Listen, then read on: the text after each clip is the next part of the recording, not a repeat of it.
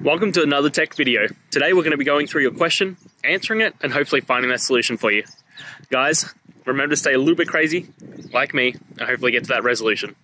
Now, let's continue on to that video.